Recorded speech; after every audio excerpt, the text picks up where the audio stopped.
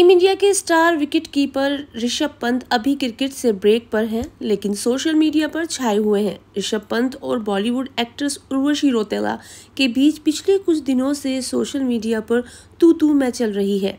इन सबके बीच ऋषभ पंत ने अपने इंस्टाग्राम पर एक पोस्ट शेयर किया है, जिसकी चर्चा है।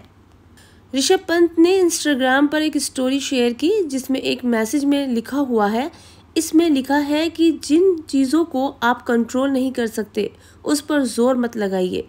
ऋषभ पंत की इस स्टोरी का स्क्रीनशॉट ट्विटर पर भी वायरल हो रहा है। उर्वशी और ऋषभ पंत में क्या है विवाद? चलिए आपको बताते हैं। दरअसल, कुछ दिन पहले ही उर्वशी रोतेला ने एक इंटरव्यू दिया, जिसमें उन्होंने मिस्टर आरपी का नाम लिया। उर्वशी ने कहा कि मिस्टर आरपी उनसे दिल्ली में मिलने आए थे। दस घंटे इंतज़ार किया और सत्रह मिस कॉल दी, लेकिन वह उनसे मिल नहीं पाई थी और बाद में मुंबई में मुलाकात हुई।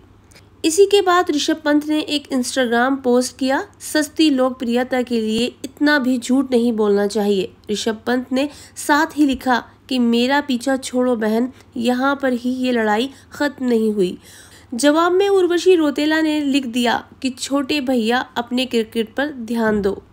दोनों के बीच चल रही ये तू तू मैमे ने सोशल मीडिया पर फैंस का काफ़ी ध्यान खींचा। लगातार फैंस के रिएक्शन आए और कई तरह की मीम्स भी बने। बता दें कि ऋषभ पंत इस वक्त एशिया कप की तैयारियों में जुटे हुए हैं।